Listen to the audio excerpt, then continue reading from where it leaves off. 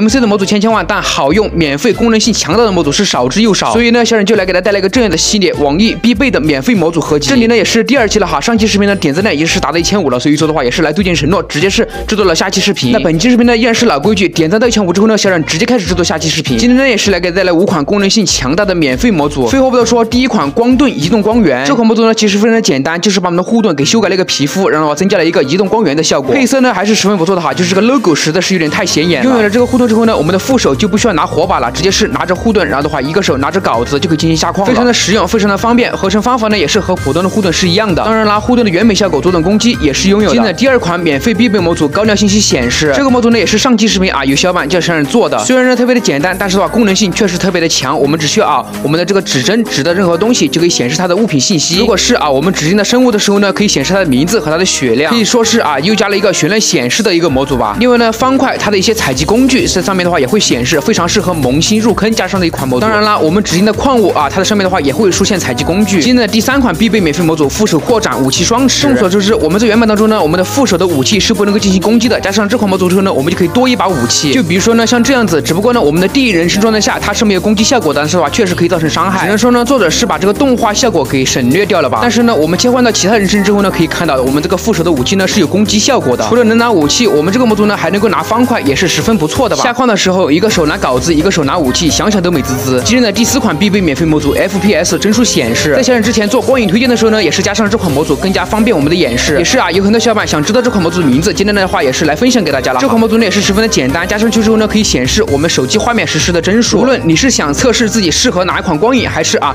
想玩一些生存，看看自己的帧数到底能够达到多少，都是十分不错的。这些数据可视化真的是非常的方便。就比如说啊，小冉这边能够轻轻松松就测试出小冉的手机适合哪款光影。可以看到哈，小冉的话依然是适合这款光影的，一共有一百二十多帧呢。如果你也想测试出自己适合哪款光影的话，赶紧去试试吧。和小冉一样苦力怕光影会掉帧的小伙伴呢，可以在弹幕里面扣个一报个到了，看看是大家都是这样，还是小冉只是一个人是这样子。今天的最后一款必备免费模组生物群系信息显示，和它的名字一样，加上这款模组之后呢，我们只需要走到相对应的群系上面，就可以显示出它的名字出来。一是为了更好的让萌新入坑知道当前的群系是什么样子的，二呢是可以让我们更好的了解到这个世界。就比如说吧，有些生物呢是需要到特定群系才能够刷新的，这款模组呢也是能够很好的帮助到我们，并且呢它也不会阻挡视野，过一会儿之后呢它就会直接消失掉了。这就是本期视频的全部内容了。如果大家还有什么好玩的必备免费模组的话，也是欢迎推荐给小冉，没准下期视频就是它了哟。虽然呢现在是低谷期啊，但是的话上期视频还是有很多小伙伴鼓励小冉，非常感谢大家的支持。你们的每一句加油，小冉的话都能够看到，小冉的话也不会辜负你们的期望，会持续给带来优质的视频的。好，喜欢小冉的视频，不要忘记关注、点赞、评论、分享，我们就下期见，大家拜拜。